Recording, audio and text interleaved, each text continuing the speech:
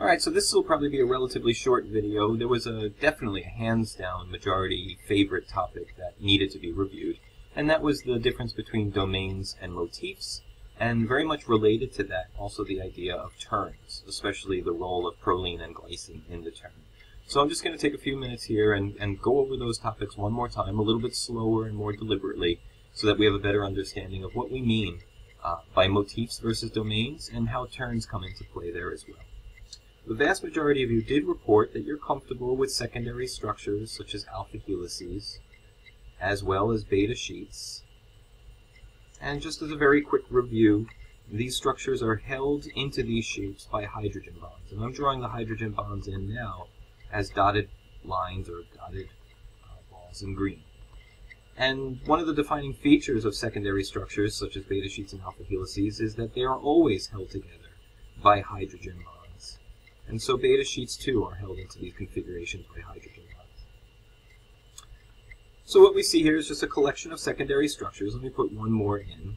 We'll have a little bit of a another alpha helix here. And so these are all secondary structures, kind of lined up in three-dimensional space, oriented relative to one another, to have some function. And so I'm going to draw the rest of this protein kind of as a mess. Let's have a, an unformed region here, alpha helix, another beta sheet, followed by a helix, followed by a beta sheet. And we'll do two more helices. And so maybe this is the total structure of the protein. The reason why I've drawn the rest of the protein in purple is I want to highlight the idea that this is one protein, it's one polypeptide chain, but what we are dealing with here is a motif within the larger protein. So two things to pay attention to here. One, the motif exists within the context of the larger protein. A motif is really just a, a collection of secondary structures that are found somewhere in the larger protein. But the other thing I want to emphasize here is that if we go back to the idea of hydrogen bonds as green dotted lines, the motif is being held into place with some hydrogen bonds, as well as maybe some electrostatic interactions and other things. But the motif is being held into place, being held into the shape it has, through interactions with other parts of the protein. So if we were to go in with protein scissors, molecular scalpels is the term I usually like to use, and we were to separate the protein, you see what I did there? I, I made a break in the chain right here. We are to separate this protein away, I'm sorry, separate the rest of the protein away from the motif, so that now all we have is the motif separate. In fact, we could do some separation. We could run a gel or do some fractionation, we can clear this larger part of the protein away. And so we've isolated the motif. What we see is that we no longer have these hydrogen bonds interacting with anything, these hydrogen bonds interacting with anything, these or these. And because of all those lost interactions, this motif is going to partially, if not fully, unfold. It's not going to maintain its shape. So we go from the motif structure that we're supposed to have to this kind of unfolded former motif in a new configuration. Now, if we live by the rule that structure equals function, if the structure of this motif allowed it to do whatever job it was doing for that protein, bind DNA, bind to substrate, be localized to a specific region of the cell, whatever this motif was supposed to be doing for the cell. As soon as we cut that motif out of the protein, and it loses that overall shape that it had before, it will also lose that function. So in a nutshell, motifs do not retain their function when separated from the larger protein they're part of. The reason why motifs lose their function is because they lose their structure. Motifs need to be part of their larger protein in order to maintain the structure that they should have, which then gives them the function that they have. So that's motifs. Let me clean this up a little bit.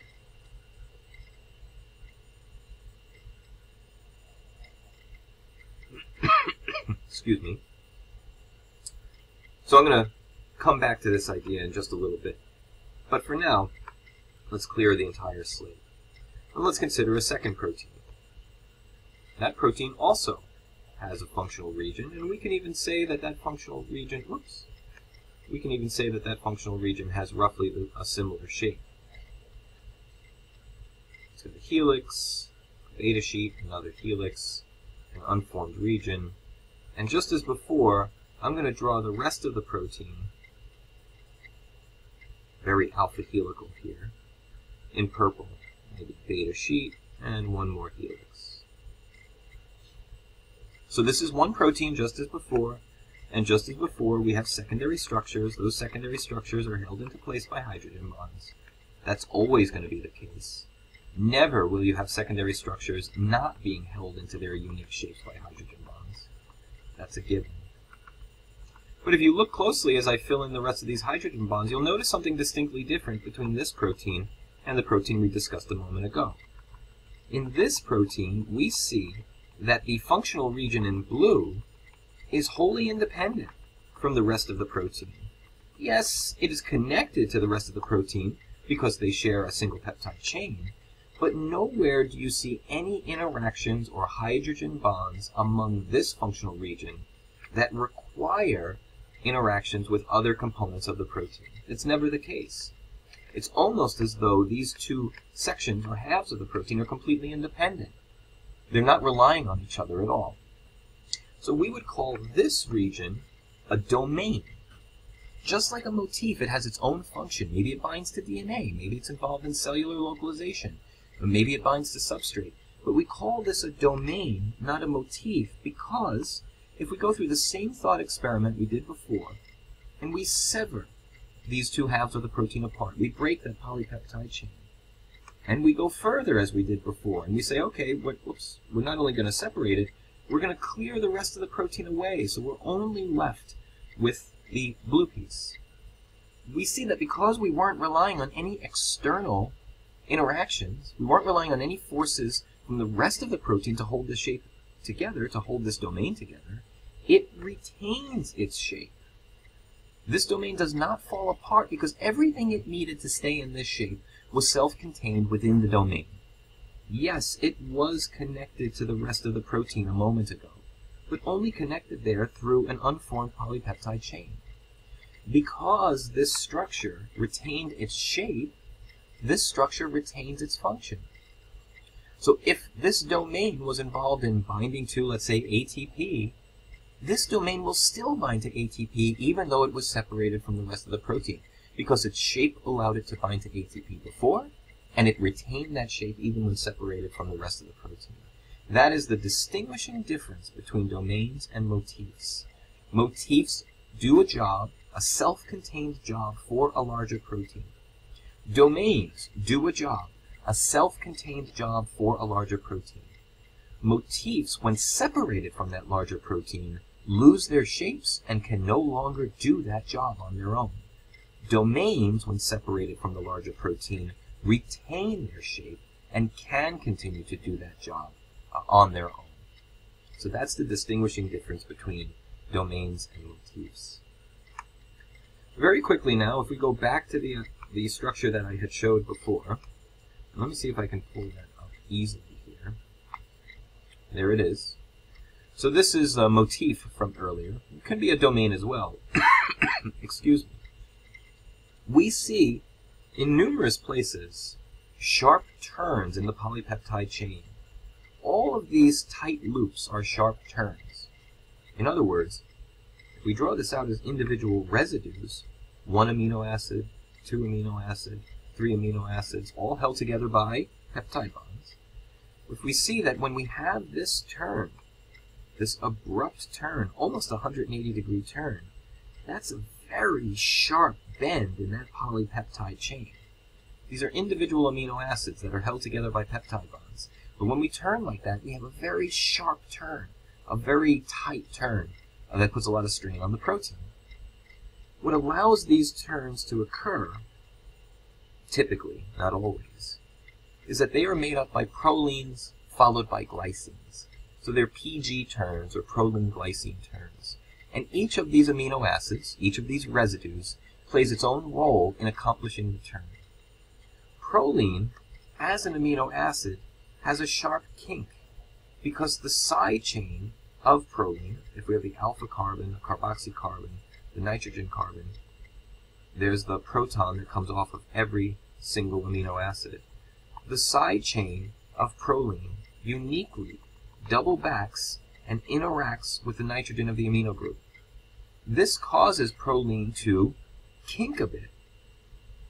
And let's draw that more accurately. Because of that doubling back to the nitrogen group, in fact, what's really happening is we have the nitrogen group, the carboxycarbon, I mean the alpha carbon, the carboxycarbon, and there's that side chain kinking. So we don't have a straight bond here, we have a kinked bond. So proline kinks amino acid chains. Proline kinks or distorts polypeptide chains.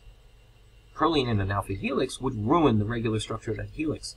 But if you put a proline right here, you get that natural kink in the backbone of the peptide. That's what we want. We want to turn.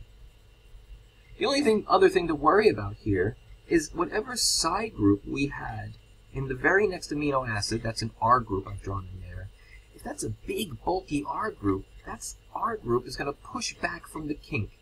We need something small right after that proline that is going to be able to comfortably fit in what is now going to become this tight space right here that I've colored in in black. Well, if you need a small side chain to fit in a very compact space, what better side chain could there be than the smallest atom on the periodic table, hydrogen? And only one amino acid has that small of a side chain available to it, and that amino acid is, of course, glycine, the only achiral uh, amino acid that we've discussed. So this is the purpose of the PG turn. If we want to say it kind of in layman's talk, we would say that the PG turn is a kink followed by compaction. A kinked amino acid followed by a small compact amino acid that can handle the tight spaces found in that turn. Because proline is the only amino acid that kinks, and glycine is the only amino acid with such a small side chain, that kinked compact turn actually becomes a proline glycine turn. So in general, we use turns in order to allow us to have these sharp reversals of direction that we commonly find in secondary and tertiary structures. The way we get those sharp, abrupt changes in direction of the polypeptide backbone is by having a kinked amino acid followed by a small amino acid that will tolerate those turns. So hopefully this short video clarifies those concepts for you. Again, we tried to just distinguish the difference between domains and motifs with a functional definition of each, and put a little bit more meat on the bones of the proline glycine turn, which is in fact a secondary structure. Turns are secondary structures because they are what joins one secondary structure, such as an alpha helix, to the next, a beta sheet. Let me know if you have any questions, send me an email, and I'd be happy to do my best to clarify anything